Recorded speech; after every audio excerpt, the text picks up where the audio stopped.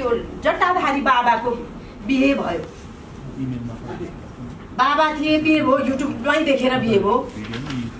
अनि त्यसपछि हुँदै थियो बिहे भइसकेपछि अब उनीहरू थिए फेरि विवाद आयो दुईजनाको।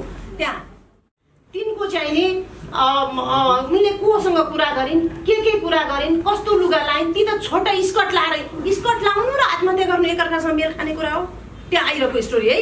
उनले के क्राइम गरिन् क्राइम अनुसारको त्यो उसलाई चाहिँ नि सजाय हुनुमा मेरो केही भन्नु छैन भन्न पनि मिल्दैन। एकचोटि गौतम बुद्ध चाहिँ नि गाउँमा घुम्दै घुम्दै गएछन् अनि एकजना महिला कहाँ बास बस्न पुगेछन्। अनि त्यहाँ गाउँभरि हल्ला भएछ। गौतम बुद्ध त्यस्तो महिला कहाँ बस्ने? लौ गौतम बुद्ध गौतम बुद्ध रहेनन् यिनको चाहिँ नि यो यो यो यिनको ज्ञान प्राप्ति पनि त्यो त्यो चाहिँ फन्डा मात्रै रहेछ। यसरी अब यिनलाई मान्न हुँदैन भनेर भोलिपल्ट बिहान सबै त्यहाँको भद्र भलामी भेला भएर गौतम बुद्धलाई घेरेर भनेछन्।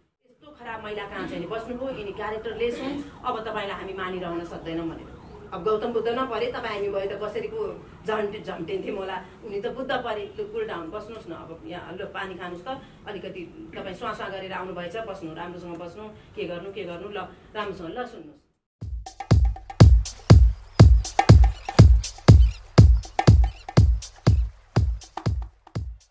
त्यो जट्टाधारी बाबाको बिहे भयो। बाबा थिए बिहे भयो युट्युबमै देखेर बिहे भयो। अनि त्यसपछि हुँदै थियो बिहे भइसकेपछि अब उनीहरू थिए फेरि विवाद आयो दुईजनाको। त्यहाँ खत्तम केटीले बाबा त्यो युट्युबमा इन्टरभ्यू गर्दा तपाईँ एउटा केटी पनि ल्याउनु नसक्ने। अब हुन्छ नि कसरी हुन्छ तिनलाई बिहे गर्न उद्यत बनाइयो? बाबाले पनि हेन केन प्रकारेन। पगरी बाबा। त्यसपछि एउटी महिला हेन केन भेटिन्छन् बाबा हेर्नुहोस्। बाबालाई पनि आइलागिन होइन? दुइटा मिले बिहे गरे। यस्तै केटी नि बिहा गर्ने बाबा तपाईँ जस्तो बाबाले पनि यस्तै केटी बिहा कस्ती हो कि? अब हुँदा हुँदा यी त ठग रहेछन् कोनी के रहेछन् भनेर ती छुट्टिए त्यो हेरेरै छुट्टिए हेर्नु मेरो विचारमा ती दुइटा छुट्टिनलाई बिहा गरेका थिएनन्। अनि छुट्टिसकेपछि जेल हाल्न पर्छ अब। यिनलाई जेल नहालिकन त यो देशको चाहिँ शान्ति सुव्यवस्था कहाँ कायम हुन्छ भनेर ती छुट्टिएरै जेलै गए एउटा मैले देखेको। ती के के गरेका थिएँ? मलाई थाहा पनि थिएन हेरौँ मैले खालि युट्युबमा देखेर थाहा पाएको। अर्को चितवनको एउटा महिला र एउटा पुरुषको बिहा भयो महिला चाहिँ अस्ट्रेलिया गइन् पुरुषको चाहिँ तिनचोटि ट्राई गर्दा पनि भिजा लागेन। अनि तिनी चाहिँ त्यो त्यो भिजा नलागिसकेपछि उनले आत्महत्या गरे। तिनी फर्केर दिदीको कि दिदीको छोरीको बिहामा आइन्। दिदीकी छोरीकी कसको बिहामा आउँदाखेरि चाहिँ नि त्यो उनलाई आत्महत्या गर्न उकासे बापतको शीर्षकमा तिनलाई चाहिँ अहिले पक्राउ गरिएको छ। त्यहाँ के आउँछ भन् पक्राउ गरे के के गरे भन्नेमा घटनामा म गएको छैन। कहाँ गइरहेछ भन्दा तिनको चाहिँ नि उनले कोसँग कुरा गरिन् के के कुरा गरिन् कस्तो लुगा लाइन् ती त छोटा स्कर्ट लाएर स्कर्ट लाउनु र आत्महत्या गर्नु एकअर्कासँग मेल खाने कुरा हो। त्यहाँ आइरहेको स्टोरी है। उनले के क्राइम गरिन् क्राइम अनुसारको त्यो उसलाई चाहिँ नि सजाय हुनुमा मेरो केही भन्नु छैन। भन्न पनि मिल्दैन। यो हाम्रो हाम्रो दायराको कुरा पनि होइन। कुरा म कहाँ गर्दैछु भने? एक त उनले कोसँग एसएमएस गरिन् के गरिन् के गरिन् भन्ने कुरा अदालत बाहेक अरूले विशेष अवस्थामा मैले त्यो कानुनको कुरा पछि बताउँछु। माग्न नि मिल्दैन। उनले स्कर्ट लगाएको कारण पो उनको त उनले आत्महत्या गरेर भनेर युट्युबमा आइरहेछ। अर्को चाहिँ नि एउटा घटना के आइरहेछ भन्नुहुन्छ भने एकजना महिला चाहिँ नि बिहे गरेर गइन् रे फर्केर आइन् रे अनि माइतीको सम्पत्ति खान आकी भनेर अनि तपाईँले के के खानुभयो? ए विधाता लाइफ कसैको नि छैन। बाँच्न पाउने अधिकार पनि छैन मान्छेसँग। त्यो अनि गाउँघरमा म सतहत्तर जिल्लामा सोलुखुम्बु बाहेक छत्तर जिल्ला पुगेको छु। मान्छेहरू के भन्छन् भन्नुहुन्छ भने मिडियामा आयो मिडियामा आएपछि खत्तम सक्यो। What type of media media भनेको के हो? मिडियाले के के गर्नुहुन्छ? के के गर्नुहुन्न भन्नेको कुनै दायरा छैन। मिडियामा आयो सक्यो आएको त हो फेरि हेर्नु। अनि त्यो हेर्दा केमा आयो भन्दा हात हातमा मोबाइल छ। हात हातमा मोबाइल भएपछि त तपाईँले जे पनि त्यही देख्नुहुन्छ। मिडिया हो तपाईँलाई के थाहा?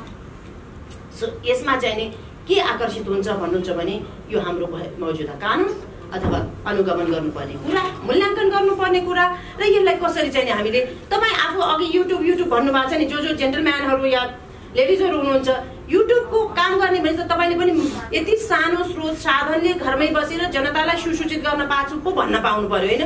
युट्युबले गर्दाखेरि यस्तो हो भनेर उदाहरण दिएको के? राम्रो उदाहरण ल्याउनु पर्थ्यो मैले पनि। किन नल्याएको भने राम्रो त हाम्रो ड्युटी नै हो त। सूचना प्रवाह गर्नुपर्ने हाम्रो चाहिँ नि न यो पत्रकारको त ड्युटी नै भए भएर मैले के भन्नु? राम्रो त गर्नु नै भएको छ। चौथो अङ्गराज्यको यो मिडिया हो। मिडिया नभए नजाने यस्ता यस्ता इन्फर्मेसन कसरी आउँथे भनेर म आफू स्वयं मिडियाको ब्याकग्राउन्ड भएको मान्छेले त भन्छु भनेपछि राम्रो त छँदैछ त्यसमा लामो व्याख्या नगरौँ। खालि मान्छेको वैयक्तिक जीवन त्यसले भोगेको त्यो त्यो त्यो अप्ठ्यारोपन र त्यसले ल्याएको अप्ठ्यारोपन अगेन के के छ भनेर म अलिकति चाहिँ साथीहरूसँग सेयर गर्छु र हामी छलफल गरौँला। खालि पहिला चाहिँ हामी यसमा जाउँ भनेर हजुर यो नजानेको कसैले नि छैन खालि रिमाइन्ड होस् भनेर एउटा मात्रै कुरा जानेर जीवनमा सम्भव पनि छैन। सब जान्नु छ। अब सब जान्ने बेलामा कहाँ कहाँ ख्याप्ची पर्छ भनेर मैले खालि रिमाइन्ड गराउन मात्रै यो ल्याएको तपाईँहरूले जान्नुहुन्न भनेर चाहिँ होइन। गर्न पर्ने यो रिपोर्टहरू हाम्रो अवस्था महिलामाथिका हिंसा बढी भए भएर महिला भन्न परेको। शारीरिक हिंसा हुन्छ मानसिक हिंसा हुन्छ र यौनजन्य हिंसा- हिंसा हुन्छ। कतिपय हिंसाहरू अहिले सोध्छु म। थाहा नपाएर पनि हिंसा सहेछौँ हामीले ए कस्तो राम्रो है भने थपथपाउनु कहाँ पाइन्छ र? कस्तो राम्रो कोट लाग्यो मेरो साथीले मलाई मेरो कन्सेन्टमा त पाइयो। त्यत्तिकै त तपाईँलाई कति राम्रो कोट लाग्यो भने थ्याप थ्याप थ्याप गर्न कहाँ पाइयो? या माउस चलाइरहनु भएको छ? माउसको माथि हात राखेर तपाईँको हातमाथि हात राखेर हेर हेर त्यो कम्प्युटर चलाउन पनि नजानेको कहाँ भन्नु पाइन्छ? हात झिक्नुहोस् न म भन्नु पर्यो। सो हामीलाई त्यस्तो कतिपय कुराको ज्ञानै नभइकन हिंसा सहिएछ भन्ने मलाई लाग्छ। यसभित्र पनि त्यो कुरा आउँछ। अनि यो चाहिँ नि सामाजिक आर्थिकमा कस्तो छ भने म खालि त्यो उदाहरण दिनलाई अरू त जान्नु भएको छ। अस्ति पोखरामा के भयो भन्नुहुन्छ भने पोखरामा एक सय पचासजना महिला होटल व्यवसायीसँग छलफल भयो। म आफै अनि उहाँहरू कस्तो होटल व्यवसायी भन्दा उहाँहरूको नाममा होटल छ। ट्याक्समा चाहिँ महिलाको नाममा दर्ता भए बापत कम हुने भए भएर छ। तपाईँले चाह्यो भने तपाईँको होटलको थोपडा फेर्न सक्नुहुन्छ? नो चाह्यो भने बेच्न सक्नुहुन्छ? नो चाह्यो भने तपाईँले यसलाई चाहिँ नि अर्ग्यानिक खाना खुवाइरहनु भएको छ अथवा थकाली खाना खुवाउनु भएको छ अब कन्टिनेन्टल खुवाउँछु भन्न सक्नुहुन्छ? नो यो चाहिँ सम्पूर्ण ओनरसिप चाहिँ नि एकातिर छ नाम महिलाको छ। त्यसले चाहिँ के भने आर्थिक हिंसा भनेको त्यो त्यसले चाहिँ अर्थोपार्जनमा चाहिँ महिलालाई ठुलो केही प्राप्ति नहुने खालि महिलाको नाममा छ भन्न पाइने भनेर मैले भनेको।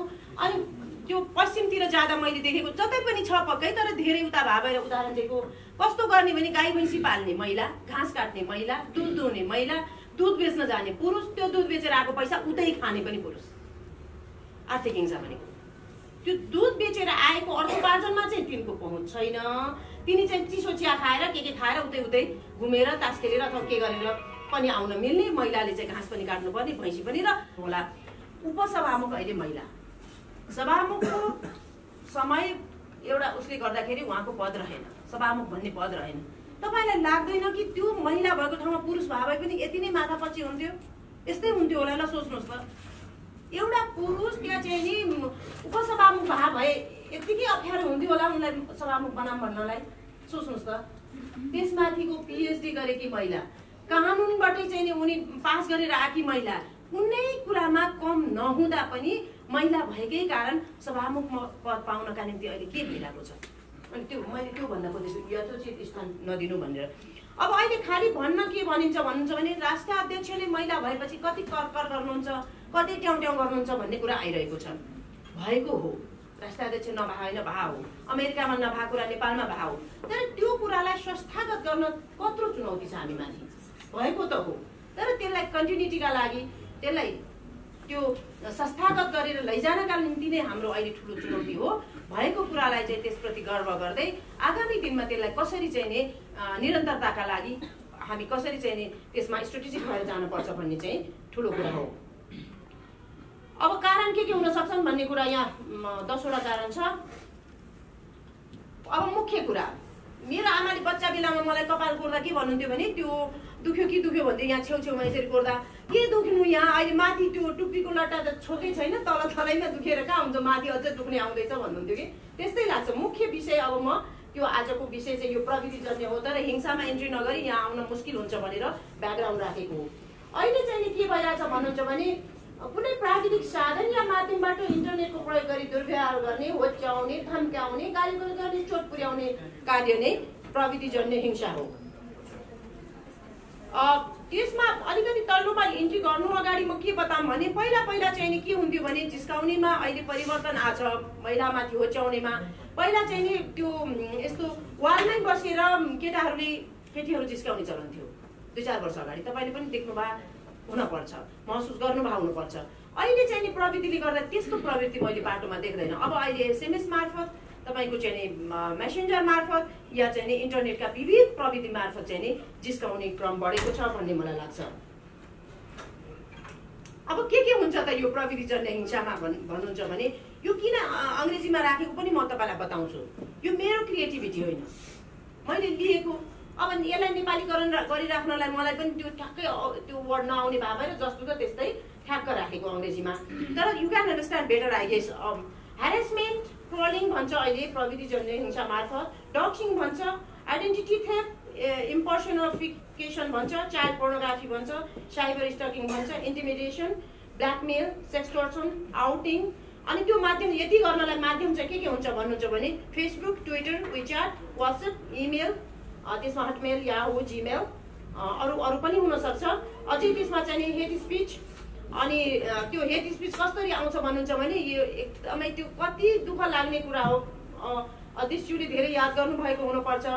एकदमै त्यो नहुनु पर्ने भने होइन कि त्यो त्यो खालि महिलालाई होच्याउन गरिएको भनेर। एकदम त्यो पिक्चर मैले ल्याउनु लाग्थेँ मैले त्यो अस्ति त्यो उसमा उडेपछि फेरि डाउनलोड गर्न नसकेको भएर। एकदमै त्यो साउथ अफ्रिकन मान्छेहरू राखेको हुन्छ होइन फेस? अनि अर्को चाहिँ नि एकदमै त्यो त्यो युरोपियन फेस राखेको हुन्छ। अनि ऊ मान्छे चाहिँ उनी खरिदार हुन्। तर सरकारी जागिरी भए भएर यस्तो यस्तो केटी पाइयो। दुईजनाले एकअर्काको मत मिलेर भएको भए आई डोन्ट माइन्ड तर त्यो होच्याउनका निम्ति गरिएको। अनि एकजना चाहिँ नि त्यो बडी बिल्डर जस्तो महिलाको त्यो पिक्चर राखेर दाई भाउजू ल्याइदिएको छु है। त्यस्तो त्यस्तो के? दाई ल्याइदिएको छु चाहिँ होइन। भाउजू सो महिलालाई होच्याउने किसिमले राखेको त्यो तपाईँहरूले याद गरेको हुनुपर्छ भन्ने लाग्छ। Revenge porn non consensual sharing of person image and videos त्यो त यति धेरै अ, तपाईँहरूले पक्कै नि त्यो सुन्नु भएको छ मनी ट्र्याप अनि डोक्लिङ भन्छ फिजिकल थ्रेट्स महिलाहरूलाई चाहिँ नि दुईजनाको सहमतिमा भएका अत्यन्त निजी ती क्रियाकलापहरू पनि महिलालाई होच्याउन उसलाई चाहिँ ब्ल्याकमेलिङ गर्न र ऊ गर्नका निम्ति चाहिँ नि त्यस्तो इमेजेसहरू भिडियोहरू राखेको तपाईँ हामीलाई उदाहरणै दिनुपर्दा नामै अहिले किन लिनु भनेर मैले नलिएको त्यो पनि तपाईँलाई राम्रोसँग जानकारी छ। कस्तो सोसाइटी हाम्रो भन्नुहुन्छ भने दुईजनाको त्यो सहमति बेगर नहुने कुरामा पनि पुरुषले त्यही भिडियो हिज अल्सो इन्भल्भिङ त्यो राख्दाखेरि उसको केही पनि नबिग्रिने खालि महिलाको मात्र बिग्रिने। यसो सोच्नुहोस् त। अनि त्यसमा एकदम राम्रो उदाहरण छ। म तपाईँहरूसँग सेयर गर्नलाई पहिला एकचोटि गौतम बुद्ध नि गाउँमा घुम्दै घुम्दै गएछन्। अनि एकजना महिला कहाँ बास बस्न पुगेछन्। अनि त्यहाँ गाउँभरि हल्ला भएछ। गौतम बुद्ध त्यस्तो महिला कहाँ बस्ने? लौ गौतम बुद्ध गौतम बुद्ध रहेन नि यिनको चाहिँ यो यो यो यिनको ज्ञान प्राप्ति पनि त्यो त्यो चाहिँ फन्डा मात्रै रहेछ। यसरी अब यिनलाई मान्न हुँदैन भनेर भोलिपल्ट बिहान सबै त्यहाँको भद्र भडामी भेला भएर गौतम बुद्धलाई घेरेर भनेछन् यस्तो खराब महिला कहाँ चाहिँ नि? बस्नुभयो यिनी क्यारेक्टरलेस हुन् अब तपाईँलाई हामी मानिरहन सक्दैनौँ भनेर। अब गौतम बुद्ध नपरे तपाईँ हामी भयो त कसरीको झन्टे झम्टिन्थ्यौँ होला। उनी त बुद्ध परे। कुल डाउन बस्नुहोस् न। अब यहाँ पानी खानुहोस् त। अलिकति तपाईँ स्वासा गरेर आउनुभएछ बस्नु राम्रोसँग बस्नु। के गर्नु के गर्नु? ल राम्रोसँग ल सुन्नुहोस्। महिला तपाईँले भने जस्तै क्यारेक्टरलेस होलिन्। खराब पनि होलिन्। यहाँ तपाईँले भने जस्तै दुर्गन्धित पनि होलिन्। यिनी एक्लै त्यस्तै भइन् कि अरू कसैको इन्भाइरोमेन्टले भइन्? भनेपछि त यसो गरेछन् सबै पुरुषले। आफू आफू म म भन्न पर्यो। म आँखे पो भन्न भएन। कुरो त त्यही हो। अनि त्यसपछि अनि यसो गरे अलि निहुरेछन्। निहुरेपछि हेर्नुहोस् अब तपाईँको चाहिँ अज्ञानले। ती त गौतम बुद्ध हुन् नि त। तिमीले त बुझाएर भन्छन्। तपाईँको अज्ञानताले गर्दाखेरि यसो भनिहाल्नुभयो। अबदेखिलाई चाहिँ नि यी महिलालाई पनि पूज्य हुन् भन्ने सोच सोचले तपाईँहरू उनीसँग व्यवहार गर्नुहोस्। उनलाई चाहिँ नि यो क्यारेक्टरलेस भन्न छोड्नुहोस् क्यारेक्टरलेस बनाउन पनि छोड्नुहोस् भन्न पनि छोड्नुहोस्। तपाईँको इन्भाइरोमेन्ट चाहिँ यिनी एउटी हाम्रो आमा दिदी बहिनी साइनुमा के पर्छ त्यो अनुसारकी महिला हुन् भन्ने सोच्नुहोस्। उन उनको पनि राम्रो हुन्छ तपाईँहरूको राम्रो हुन्छ। हस् हस् गुरुबर हजुरले भनेको गर्छौँ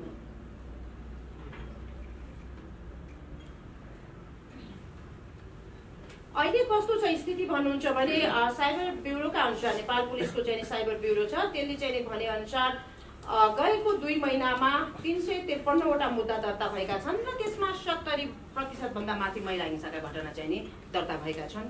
सोह्र टु थाउजन्ड सिक्सटिनदेखि अहिले नाइन्टिनसम्ममा पाँच हजार पाँच सय चौहत्तरवटा केस चाहिँ दर्ता भएकोमा महिला साथीसँगका गोप्य सम्बन्धका भिडियो इमेज ब्ल्याकमेलिङ थ्रेटन गरेका चाहिँ अधिकांश मुद्दाहरू परेका छन् भनेर पुलिसको चाहिँ रिपोर्टमा छ।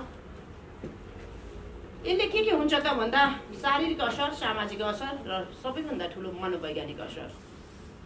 कुनै एकजना एक्ट्रेसको बारेमा यस्तै भिडियो आयो र तिनलाई चाहिँ काउन्सिलिङ गरिकन उनी आफू पनि अलिकति त्यो आत्मविश्वास दरिलो भएको भए भएर उस्तै कमजोर मान्छेले भए त आत्महत्या गरिसक्थे। श्रीषा कार्कीको केस तपाईँ हामीलाई थाहा छ कि त्यस्तै घटनामा उनले आत्महत्या गरिन्।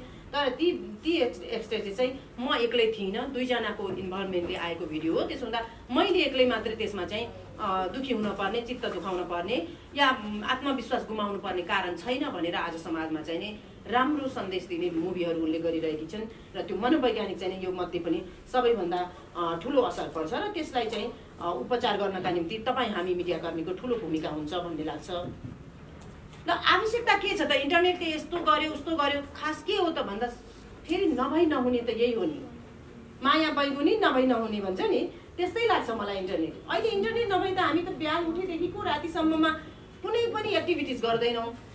तर त्यसले चाहिँ के के के के आवश्यकता हामीलाई पुरा गर्छ भन्दा giving people spaces to explore their pleasure giving agency back to people freedom of expression discussion discuss and solidarity हाम्रो अहिले त माध्यमै त्यही भएको छ कि हामीलाई केही लाग्यो कि लेखिहाल्ने भनिहाल्ने ठाउँमै त्यही।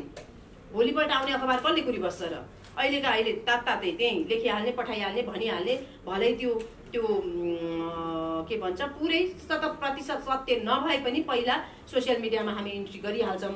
र त्यसले चाहिँ नि फेरि एकातिर त्यो सत्य नभयो भने गर्ने असर अर्कोतिर थाहा पाउने माध्यम पनि त ठुलो भएको छ नि। दूर दराजका गाउँमा तपाईँ चाहिँ नि कुनै प्रविधि नपुगेको ठाउँमा त हात हातमा मोबाइल छ इन्टरनेट छ त्यहाँ हेरेपछि कहाँ देश दुनियाँमा के भइरहेको छ भन्ने जानकारी दिने सबैभन्दा उप उपयुक्त माध्यम पनि यही भएको छ।